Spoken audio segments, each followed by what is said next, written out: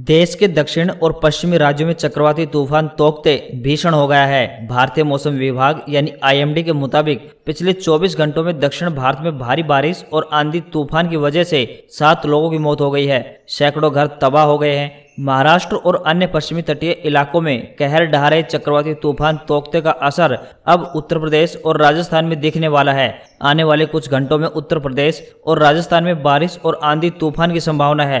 IMD के मुताबिक राजस्थान में तूफ़ान तोकते का असर तो आज से ही, यानी 18 मई से ही दिखने लगेगा। वहीं उत्तर प्रदेश की बात करें तो उत्तर प्रदेश में तूफ़ान तोकते का असर 19 मई को दिखने की संभावना है। दोनों राज्यों को तोकते से अलर्ट रहने को कहा गया है। 19 मई को उत्तर प्रदेश के ज़्यादातर इलाकों में भारी बारिश होने की संभावना व्यक्त की गई है। मौसम विभाग ने बताया कि आने वाले 24 घंटे में यूपी और राजस्थान में कई इलाकों में तेज हवाएँ और धूल भरी आंधी चलने की संभावना है। इसी तूफ़ान की वजह से पश्चिमी विक्षोभ भी अपना असर दिखाएगा। दोनों राज्यों में 18 से 20 मई, यानी दो दिनों तक बारिश और आंधी पानी की संभावना व्यक्त की गई है।